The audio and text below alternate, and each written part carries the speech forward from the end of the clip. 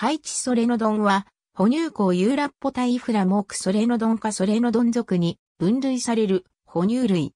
ドミニカ共和国、ハイチ南部東道長30から32センチメートル。お長21.5から24センチメートル。頭部の背面は黒や暗褐色。頸部に白い斑紋が入る。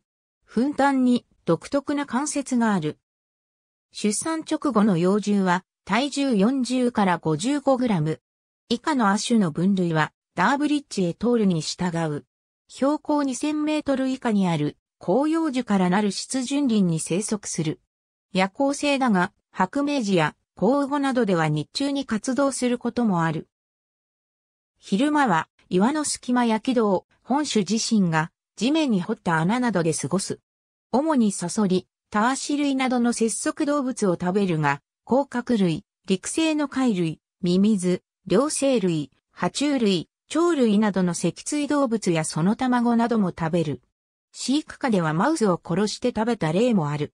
捕食者として、メンフクロウ南米トラフズクアシオスティジアスなどが挙げられ、外来種を含めると、犬猫などにも捕食される。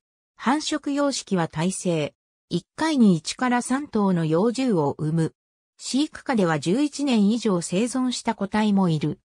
2020年の時点では、以前考えられていたよりも広域に分布していると考えられている。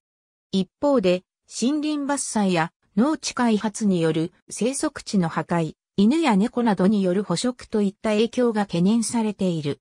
ありがとうございます。